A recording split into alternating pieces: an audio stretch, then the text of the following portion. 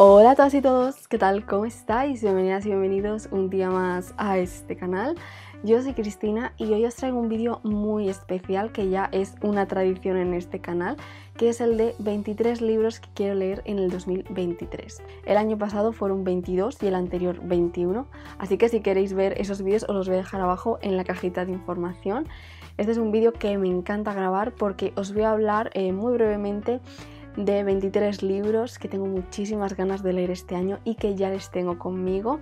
Una de las premisas que estos libros tienen que cumplir para mí es que ya estén conmigo, ya les tenga. Y bueno, pues me, hace especial ilusión eh, publicar este vídeo justamente el 3 de febrero, que es el día de mi cumpleaños, porque qué mejor forma de celebrar mi cumpleaños que eh, subir un vídeo en el que hablo de libros. En Goodreads me he vuelto a poner el mismo reto de 40 libros, igual que años anteriores. Aquí solo hay 23, pero bueno, espero leer alguno más este año. Como veis he tenido que hacer muchísima criba. Eh, creo que cuando empecé a sacar libros de la estantería, que quería que entrara en ese vídeo, saqué unos 35, 40 más o menos y bueno, había que hacer mucha, mucha criba.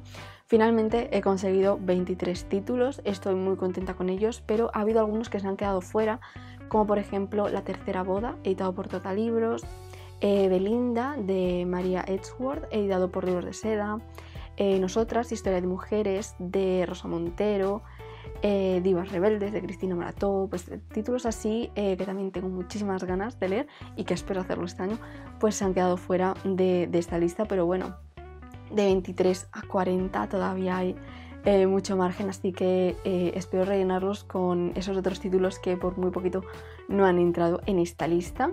Y yo creo que nada más, me callo y empezamos.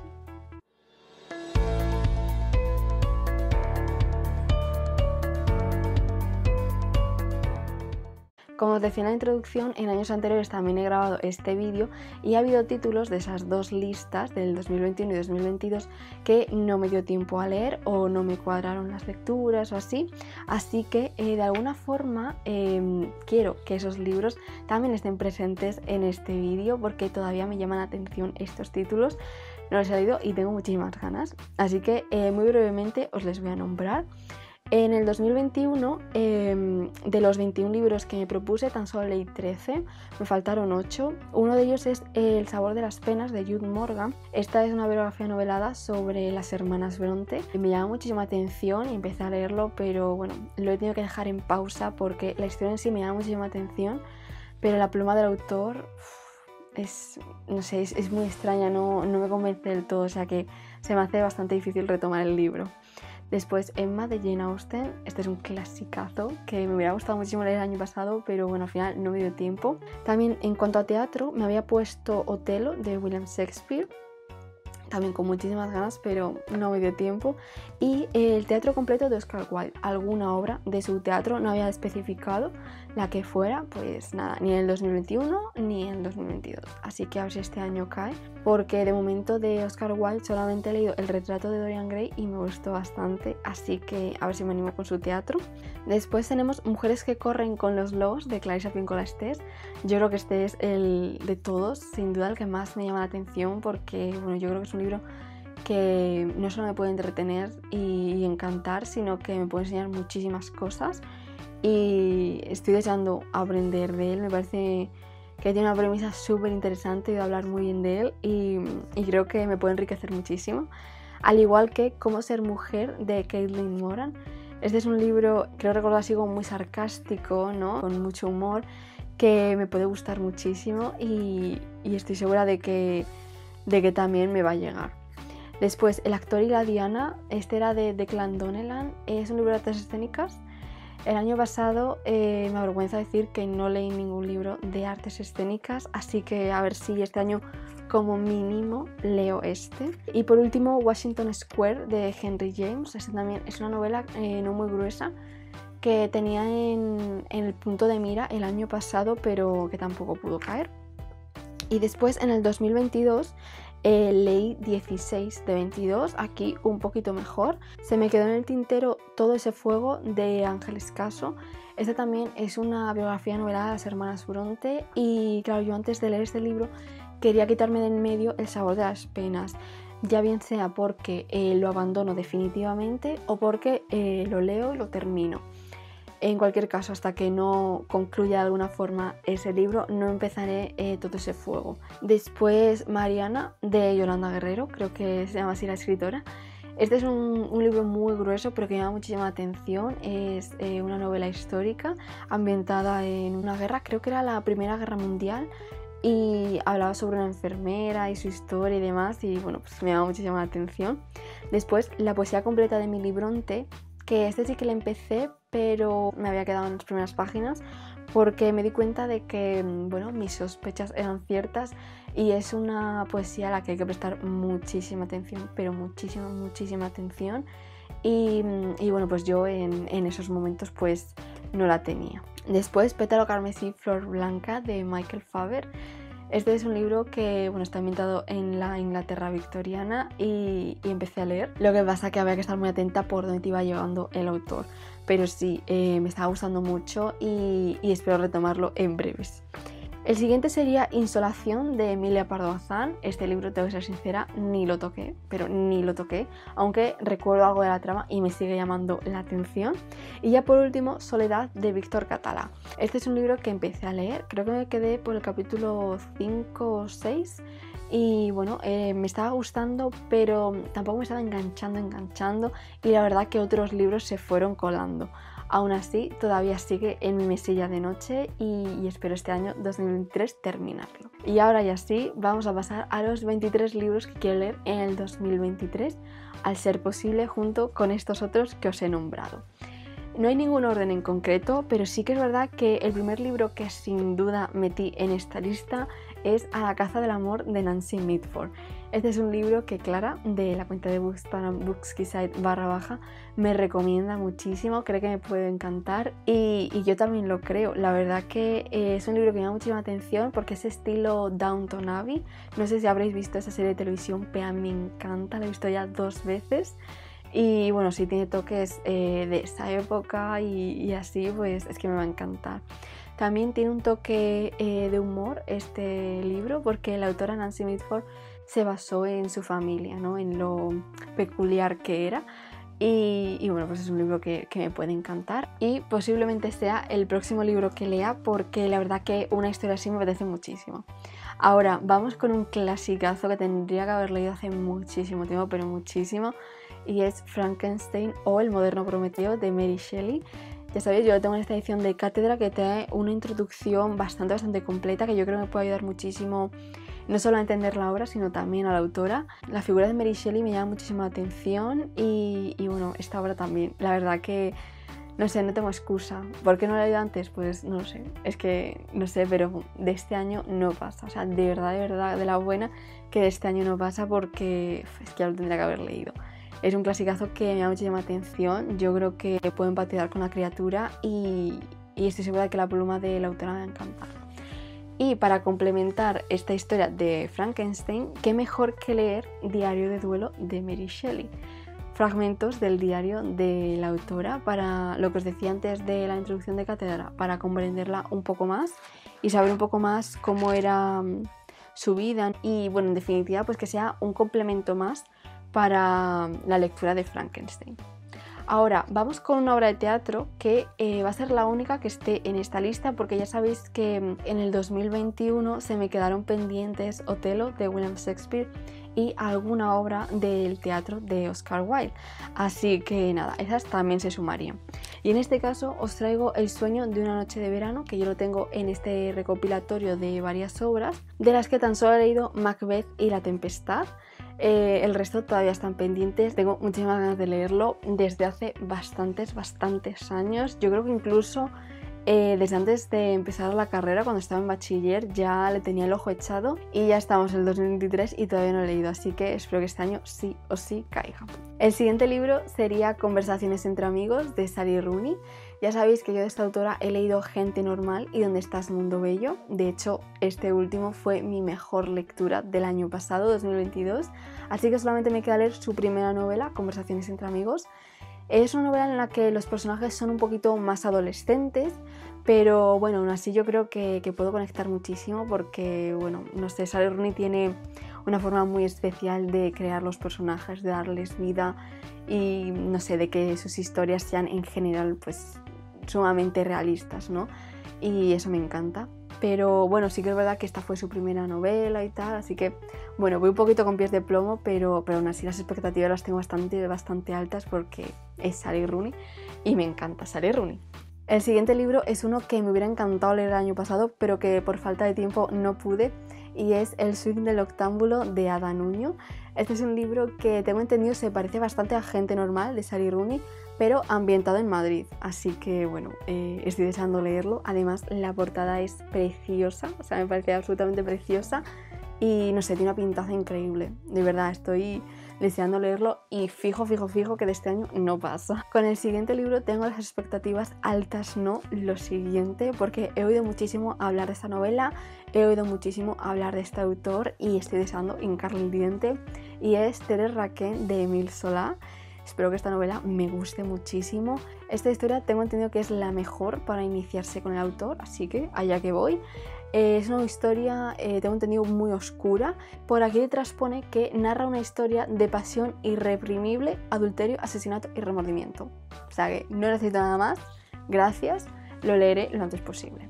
Ahora, un libro de una de mis autoras favoritas contemporáneas junto con Sally Rooney sería Christine Hanna.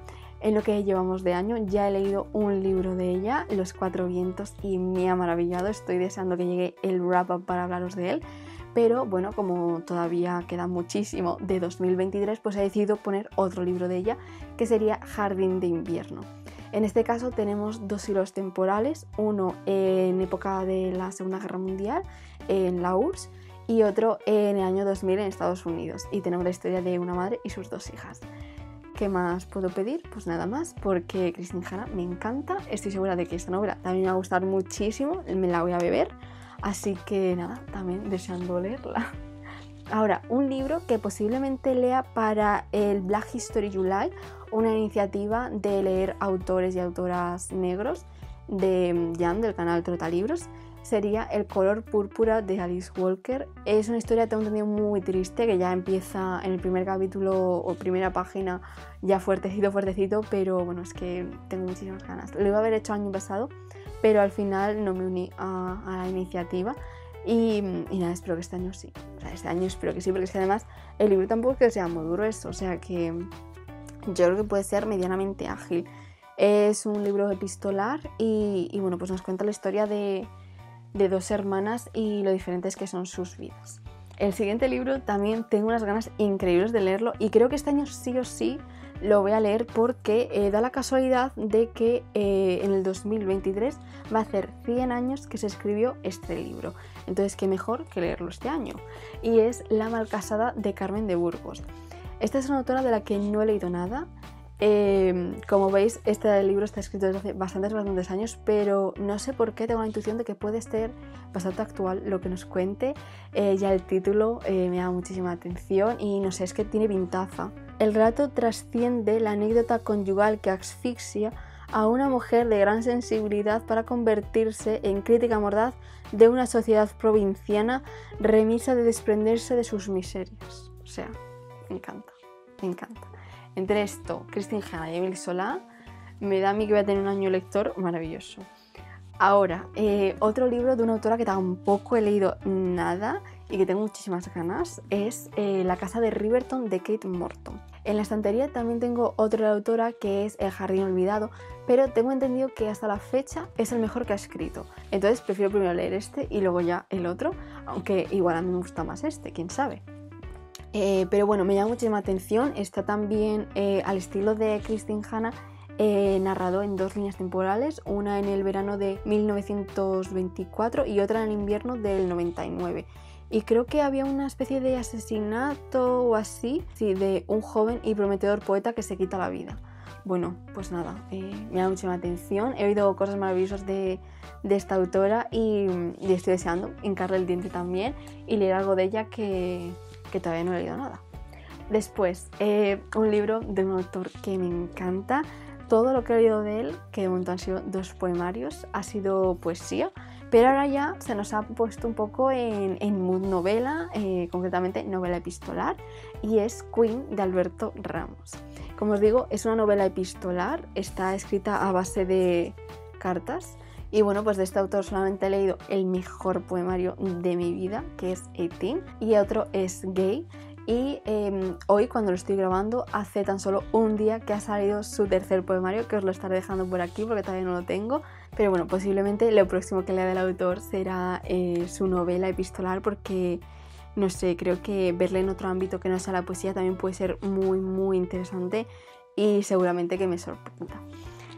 Ahora vamos, como no, con Agatha Christie, porque es que este no es un vídeo de Cristina, sino dice algo de Agatha Christie.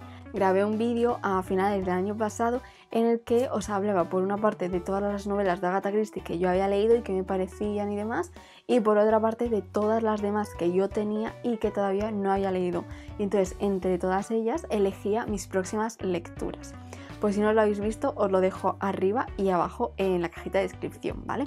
Y si habéis visto el vídeo sabréis cuáles fueron los dos libros que elegí para ser los próximos que lea de la autora y luego otros dos para que estuvieran en cola. El primero fue Muerte en las nubes y el segundo La muerte de Lord Edward. Los dos me llaman la atención muchísimo, eh, me alegro mucho de, que estén en este vídeo porque realmente tengo muchas, muchas ganas de leerlos. Eh, si habéis visto el vídeo ya sabréis por qué, porque bueno, soy bastante, bastante pesada, pero bueno, en el caso de Muerte en las nubes pues es por el sitio en el que se cometió un asesinato, que es en un avión, en el que una vez que está en el aire no puede ni entrar ni salir nadie. Y en el caso de la muerte de Lord Edward sería por eh, la persona que es acusada de, de la muerte de este señor. Ahora, vamos con un libro que también tengo muchísimas ganas de leer desde hace bastante. Es Matriarcadia de Charlotte Perkins Gilman. De esta autora eh, leí El papel pintado amarillo, que me gustó muchísimo. Es un rato súper, súper breve, pero vamos, es una delicia. Y, esta es una utopía, yo no he leído ninguna. Eh, vamos a entrar en, en un país, en un mundo en el que solamente hay mujeres. Vamos a ver cómo se relacionan, cómo es su sistema, cómo bueno, viven ellas.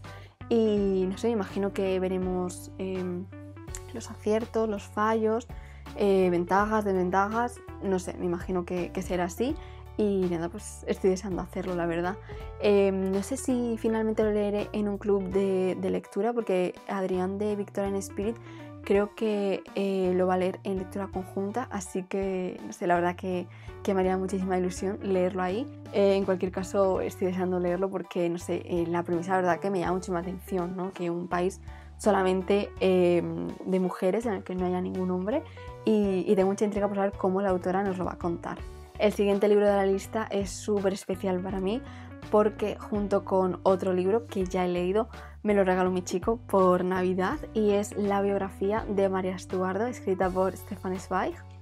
Tengo que decir que esta biografía le ha quitado el puesto a la de María Antonieta porque este año eh, quería leer sí o sí la de María Antonieta y quería que estuviera en esta lista, pero cuando mi chico me regaló este dije, no, vale, eh, hay que hacer cambiazo y primero tengo que leer la de María Estuardo, aunque también la otra me da muchísima atención, pero bueno, es que yo os digo que este es un libro súper especial para mí, al igual que el otro que lo veréis en el próximo wrap up. Y nada, estoy deseando leerlo y, conocer un poquito más de, la vida de María Estuardo, porque vi una película, que ahora mismo no me acuerdo cómo se llama, os está dejando por aquí eh, la imagen de la peli.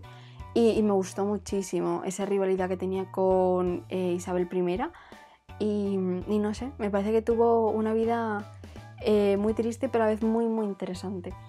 Ahora, el siguiente libro, eh, voy a quitarle la faja para que le veáis bien, también es muy especial para mí porque eh, tengo que decir que empecé a leerlo hace bastantes años cuando estaba en segundo de carrera.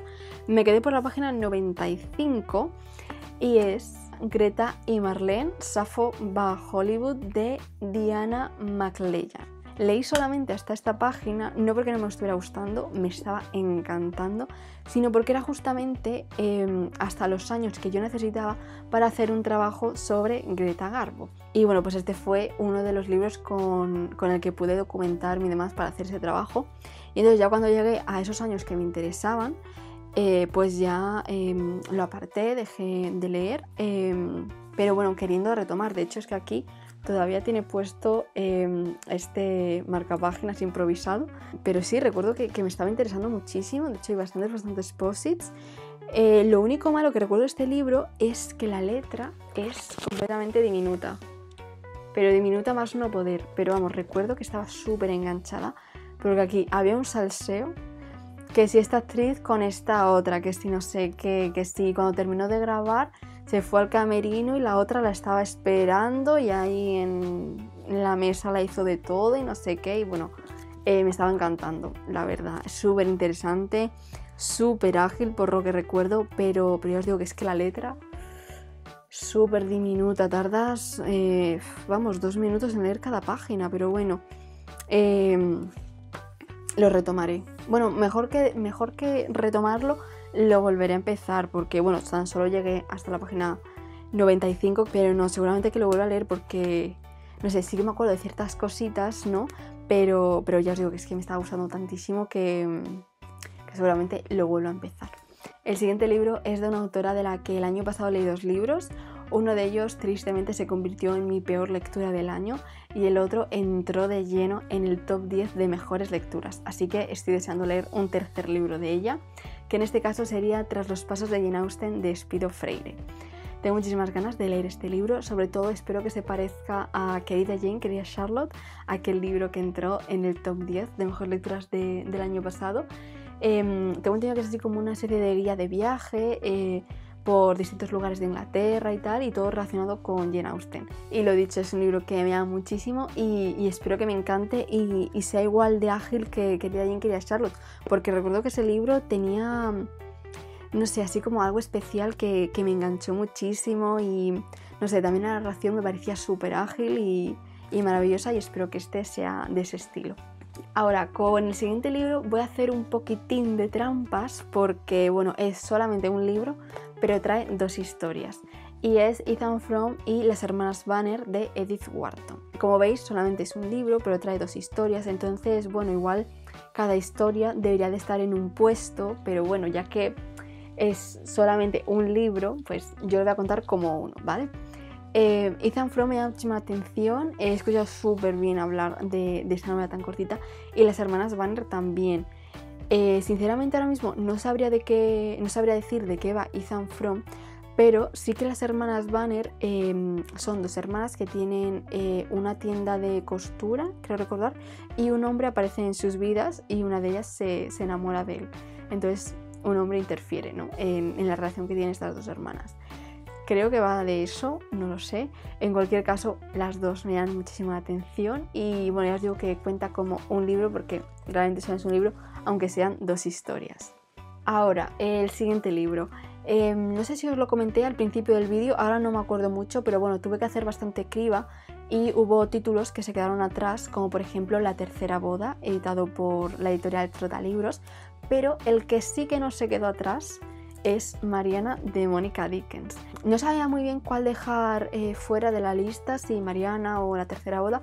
Y bueno, simplemente porque Mariana lo compré antes, pues digo, bueno, pues, pues como que tiene un poco más de derecho a estar en esta lista, ¿no? Pero bueno, en verdad me gustaría muchísimo este año 2023 leer ambos. Pero bueno, en la lista se quedó Mariana.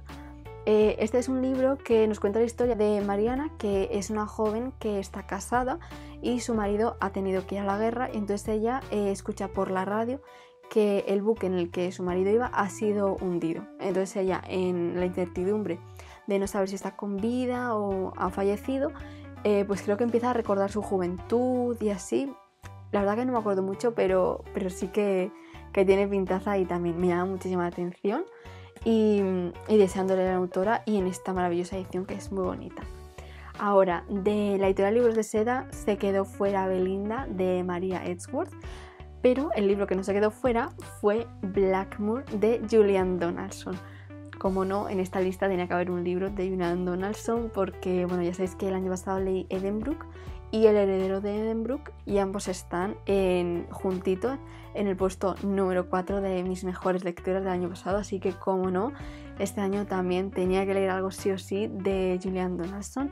Y creo que tristemente eh, tan solo tiene publicado la historia de Edenbrook y la historia de Blackmoor, así que después que lea Blackmoor pues ya no sabré qué hacer. Esperemos que se anime a, a escribir algo más, porque de momento Julian Donaldson me encanta. Ya vamos terminando, solamente quedan dos libros.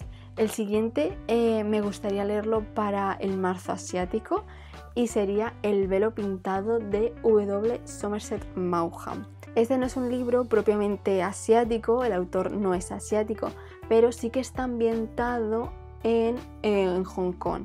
Entonces, bueno, más o menos por los pelos, sí que entraría dentro del marzo asiático y este, este año sería uno de, los que me gustaría leer. Me llama muchísima atención porque tenemos a, un joven matrimonio que eh, por trabajo del el marido se mudan a Hong Kong, eres biólogo y bueno, eh, la mujer le será infiel. Sé que hay película, de hecho esta es... Eh, la imagen de la película, pero bueno, todavía no la he visto. Me he sentido tentada porque la verdad que tengo muchas ganas de conocer esta historia, pero he preferido primero leer la novela y luego ya ver la película. Así que nada, pues habrá que esperar a marzo. Y ya el último libro de esta lista de 23, como no tenía que ser uno súper, súper especial, y he escogido fragmentos de Marilyn Monroe. En este libro tenemos sus poemas, sus notas personales, sus cartas y bueno, todo de, una forma muy, muy especial. Tenemos aquí em, un escáner del documento original, aquí transcrito y aquí traducido al español. Y bueno, no sé, eh, es así todo el libro. También intercala imágenes de la actriz. Me llama muchísima atención. Me parece eh, una forma, no sé, como muy personal de conocer a la actriz. Ya veis que incluso aquí están dibujadas flechas para saber eh, cuál es el orden, porque todo esto es como muy fiel a cómo ella lo tenía eh, con las flechas en sus notas. Me parece un libro en el que podemos conocer a, la actriz eh, de una forma muy cercana, ¿no? Porque además yo em, muy pocas cosas he leído sobre Norma Jean y bueno, el año pasado leí uno, pero se me quedó un pelín, pelín corto y espero con este realmente conocer un poquito más a, a esta mujer que, bueno, pues ya os habréis imaginado que tanto, tanto me llama la atención. Así que nada, el último libro que, entra en la lista, eh, no por ello menos importante, de hecho es que eh, estoy deseando empezarlo porque ya os digo que, que tiene una pintaza increíble. Ya está aquí el vídeo de hoy, chicas y chicos. Espero que os haya gustado mucho. Ya veis, estos han sido los 23 libros que quiero leer sí o sí en el 2023, además del resto de otros años que no me dio tiempo. Pero bueno, estos se podría decir que son los principales. Todos y cada uno de ellos me llaman muchísimo la atención. Tengo las expectativas altas, ¿no? Lo siguiente con todos, porque de verdad que he hecho una criba de libros que sí o sí creo que me pueden gustar, que me pueden maravillar que se pueden convertir en libros favoritos y que todos y cada uno de ellos tienen papeletas para estar en el top 10 de mejores lectoras del 2023. Pero bueno, no quiero adelantar acontecimientos, pero de verdad que con todos tengo las expectativas súper, súper altas y si alguno de ellos me decepciona o algo, eh, me voy a llevar un tortazo bastante, bastante importante. Y como siempre, abajo en los comentarios me podéis dejar lo que queráis. En este caso, me encantaría que me dejarais si habéis leído alguno de estos libros, si os ha gustado, si no, o también eh, si me recomendáis empezar por alguno de ellos en concreto. La verdad que me encantaría y os lo agradecería muchísimo. Y por mi parte, nada más, os mando un abrazo enorme y nos vemos muy, muy prontito en un próximo vídeo. Adiós.